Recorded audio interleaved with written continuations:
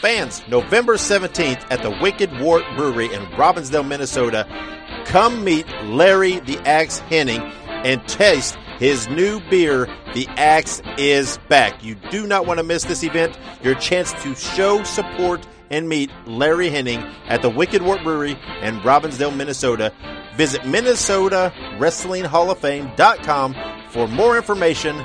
If you can be in the Robbinsdale, Minnesota area on Saturday, November 17th from 3 to 7 p.m., then come out and visit Larry Hennig and try the new beer, The Axe is Back. Wicked Wort Brewery, Robbinsdale, Minnesota.